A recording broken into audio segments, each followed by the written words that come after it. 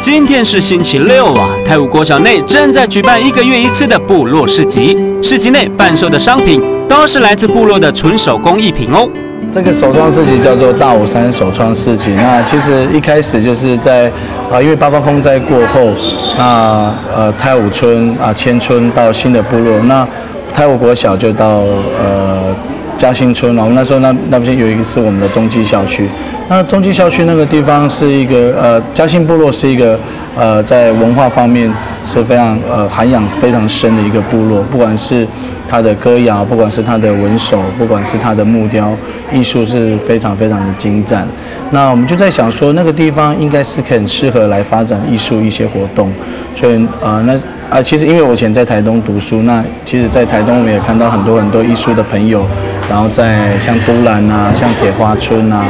然后我就觉得说，呃，有一群人应该可以去慢慢的影响部落，然后透过一些人，让部落的力量重新被找回来。所以那时候我们就找了一些朋友，啊，那时候一开始的，呃，首创世纪的朋友就是像呃志杰是玩音乐的，然后卡邦老师是他呃嘉兴村的嘉兴村部落在地的艺术家，那就还有我。还有在其他有玩编织的一些老师，那其实那时候的想法就是说，呃，我们先，我们应该是可以做让别人看见我们文化力量的一个部分。那那一开始我们就为什么会讲首创设计师？我们这些艺术家进驻到这个地方是只能是自己手手工创作的，你不能是批货来的。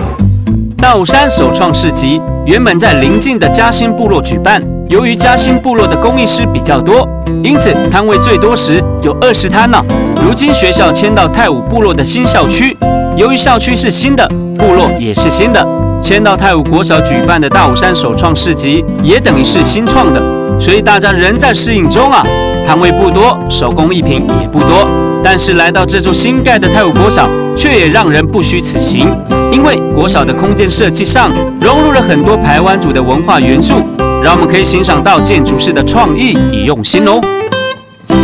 我们学校这个空间就是一开始我们呃从山上搬下来的时候，我们跟呃建筑师呃开过了几次会。那因为我们那时候他们就讲就会问我们说，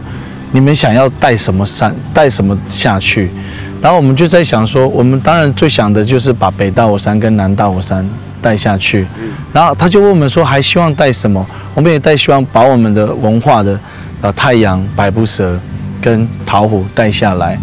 也希望能够把山上的空间是一个非常开开放空间，然后跟山彼此能够贴近的一个空间带下来。我们就把这样的一个概念跟建筑师，呃呃，就是沟通。结果他设计出来的时候，第一次我们看到，哇，真的是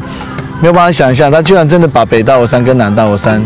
建立起来，就像我们后面的这个啊小小山。后面我们也有一座山，那它除了，呃，它不是一个简单的一个景观造景，那后面的它有防北风，那这个地方的话是一个小山丘，我们用那个梯田的方式来做的话，我们也可以帮助是一般我们活动的看台。那我们学校这个空间，这个桃屋广场呢，我们就是一个孕育的地方，然后，然后我们我们的呃教室是一个很弯曲的，就是一个百步蛇。然后就用这样的一个概念来设计学校，所以，然后我们最重要的是，我们希望学校没有围墙，因为我们希望学校跟跟部落是能够呃是在一起的，没有把它分，没有分得很开。